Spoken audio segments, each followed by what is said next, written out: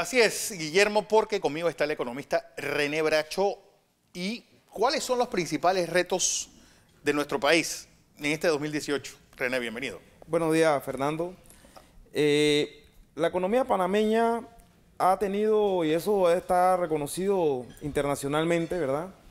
Un desempeño importante en los últimos años. Eh, el 2016, a partir de 2016, nuestro Producto Interno Bruto nominal eh, superó los 57 mil millones de dólares, eh, creció una tasa de 6.5%. El 2017 se estima que, eh, estamos esperando los datos de la Contraloría finales, pero se estima que una tasa superior al 5% hacia el crecimiento.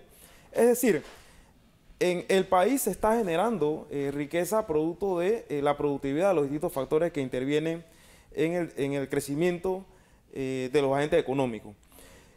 Para este 2018, algunas instituciones internacionales están planteando eh, que el crecimiento se va a mantener estable o cerca de un 5%. Pero el gran problema es por qué la macroeconomía parece que anda por un lado y la microeconomía parece que anda por otro. Sí, definitivamente hay un aspecto importante, tú lo has dicho.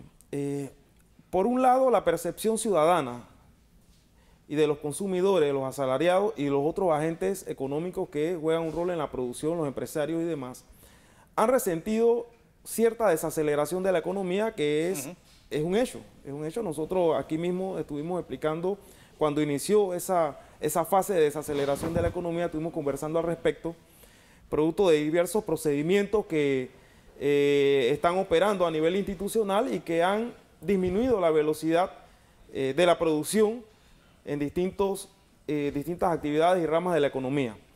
Sin embargo, a pesar que el crecimiento eh, tiene un ritmo bastante aceptable y envidiable por otros países y hay una riqueza muy importante en términos agregados que está produciendo la nación, el panameño común, los asalariados, incluso algunos empresarios, pequeños y micros fundamentalmente, han resentido primero la desaceleración y por otro lado que sus ingresos no están creciendo, al mismo ritmo que eh, los principales indicadores macroeconómicos.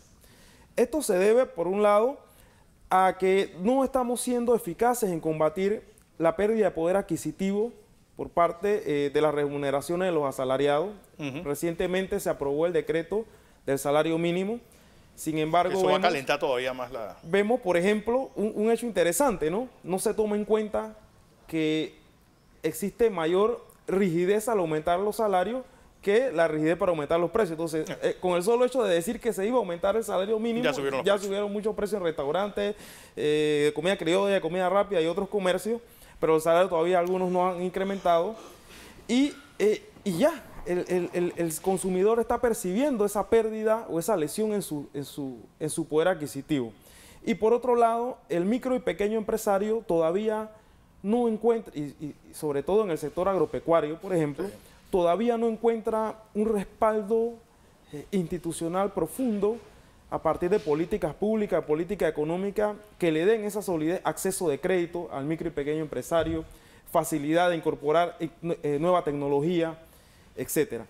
Entonces, por allí creo que inician los retos, los retos del 2018. Bueno, René, gracias por estar con nosotros. nosotros queríamos decir una cosita interesante. Mira, la riqueza que contiene el país actualmente es producto de que en el año 2000 nosotros recibimos un patrimonio valorado de cerca de 30 mil millones de dólares producto de la zona del canal. Y aprovechando la fecha histórica que se conmemora mañana, queremos invitar a los panameños a que respetemos esta fecha, respetemos nuestra historia, porque gran parte de la bonanza macroeconómica que hay en términos de economía eh, y productividad es gracias a esa lucha histórica que se dio. Y por ello consideramos que es importante conmemorar la fecha mañana, respetando la fecha y asistiendo por lo menos al acto del Instituto Nacional a las 8 de la mañana. Así es, René Bracho, economista.